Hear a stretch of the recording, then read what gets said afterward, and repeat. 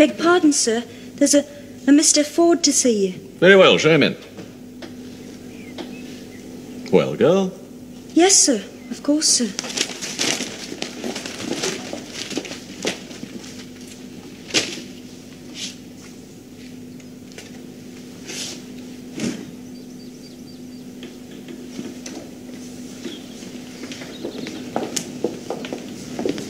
Mr. Ford, sir. come in, Ford, come in. Sit down, won't you? Thank you very much. Care for a cigarette? Thank you. See, you brought it with you. Yes, sir. I said I would when I wrote to you. Yes. You also said you knew my son. I was his sergeant, sir. Yes. He wrote to me about you once or twice. Yes, sir. You, uh, impressed him. And you puzzled him, too. Puzzled him, sir. You were his equal in strength and courage. Oh, I doubt that, sir. He didn't. Had twice as many brains, used them too. What puzzled him was that he knew you would survive the war and he wouldn't. And he was right. Did you see him die? Yes, sir. I was holding him. Did he say anything? Yes, sir. He said, What the hell am I doing here, Sergeant? I said I'd be at the Savile. And then he died. Was there much pain? No, that's a damn fool question. You'd lie anyway. I would, sir, but I don't have to. He went very quick, sir. You've a kind heart as well as a good brain. Do you like the army? No, sir. Why not? People kept on trying to kill me, sir. I forgot. You never knew it in peacetime, did you? It's all I did know. I was a sergeant too, you know. Yes, sir. Didn't my son tell you? We didn't have all that much time to chat, sir. Twelve years. Then I took my discharge. My brother sergeants thought I was mad. I didn't. I went into business, used my savings and my wits. I am a rich man, Ford. I suppose you knew that. It seemed likely, sir. You've got a title, and your son was always flush.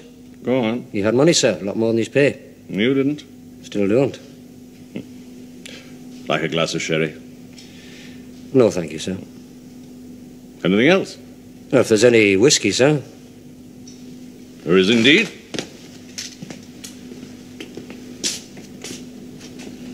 Took your time contacting me, didn't you? It's four years since my son died. Didn't know where you were, sir. A man with your brains could find out, surely.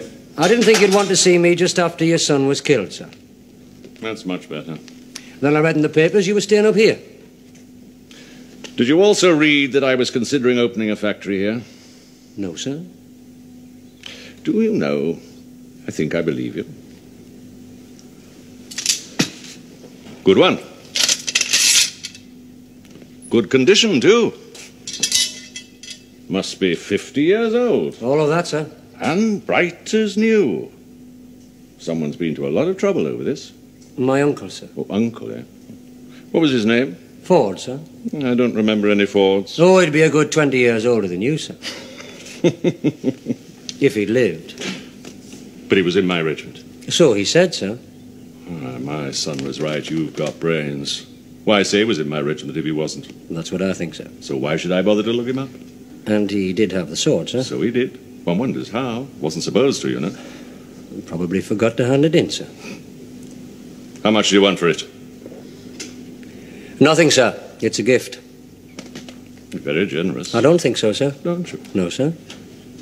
But I was with your son when he died.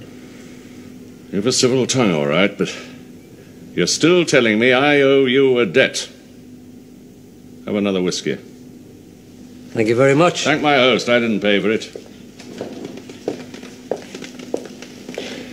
I think I'm going to offer you a job.